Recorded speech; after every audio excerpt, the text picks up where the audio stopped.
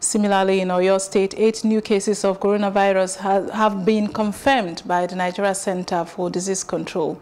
In the figures released by the NCDC on Wednesday night, the eight cases in Oyo were among the newly 195 recorded in 13 states.